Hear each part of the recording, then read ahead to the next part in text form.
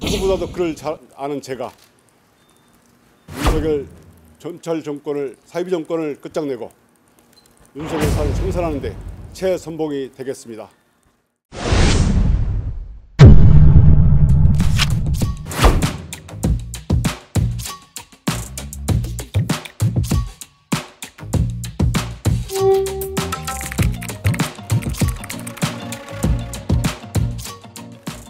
오늘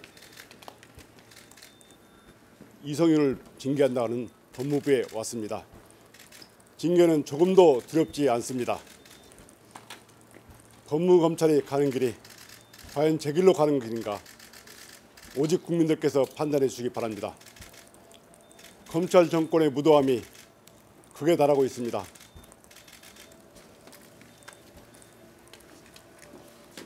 생각하기조차 싫은 군사 정권이 물러간 지 30년이 지난 지금 그 자리에 검찰 정권이 들어섰습니다.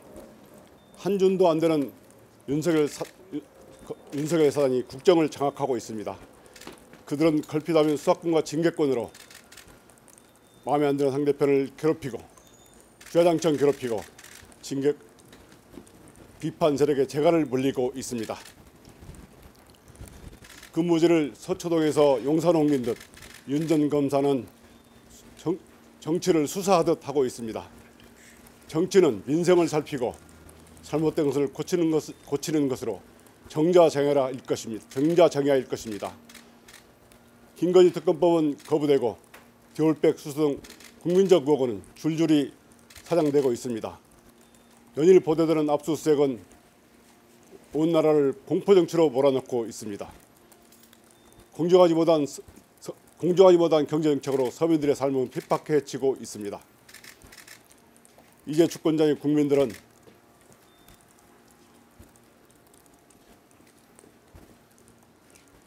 이제 주권자 국민들은 더 이상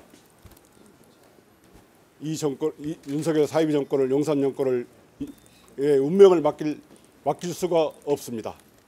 하여 저는 어떤 권한과 핍박이 와도 잘못된 것을 자- 바로잡는 일을 멈출 수 없습니다.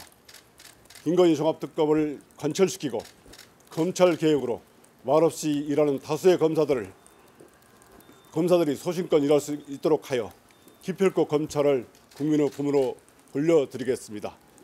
이것이야말로 민생 회복이자 민주 회복의 길이요 시대 정신이자 정의라 생각합니다. 4월 10일은 4월 10일은 민주주의 대행과 검찰 정권을 끝내는 시작이 되어야 합니다. 지피적이면 백정백승이라 했습니다. 저는 윤석열 전 검사와 동기로 사법연수원 동기로서 오랫동안 그의 무도함을 온몸으로 겪어봤습니다. 누구보다도 그를 잘 아는 제가 윤석열 전철 정권을 사이비 정권을 끝장내고 윤석열 사를 청산하는데 최선봉이 되겠습니다. 많은 분들의 참여가 많은 분들의 참여를 부탁드립니다. 감사합니다. 위원님 지난 7일에 징계 부당하다고 페이스북에 글 쓰셨는데요. 관련해서 입장 한 말씀만 부탁드리겠습니다. 징계를 여전히 부당합니다. 검찰에도 할 말 할 말을 할 수 있는 분위기가 돼야 한다고 생각합니다. 오늘 총선 얘기도 아까 방금 해주셨는데 네. 혹시 조국 신당에 합류할 계획이 좀 있으신가요? 네, 그 부분도 굉장히 중요한 선택지인데요. 아직 결정된 건 없어서 말씀드리기 어렵습니다.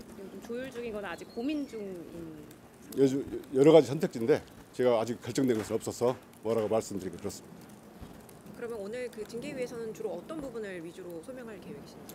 뭐 징계에 대해서 우리가 검찰을 이해하는 것이고 검찰 전체가 윤석열 사단이 검찰 전체는 대표는 아니니까 이 부분에 대해서 검찰에도 이제 할 말을 할 수 있는 분위기가 돼야 한다 이렇게 생각하고 이 부분을 주장하고자 합니다.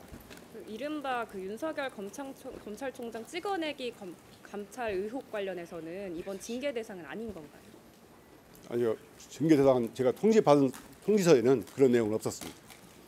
어, 그러면 이제 이미 사임을 하시긴 했지만 어, 그 징계위에서 결정이 내려지더라도 어떤 결정에도 조금 따르실 계획이신지 아니면 또 따로 입장을 내실 계획? 그런 징계 결과를 보고 제가 말씀드리겠습니다. 됐습니까? 감사합니다. 감사합니다.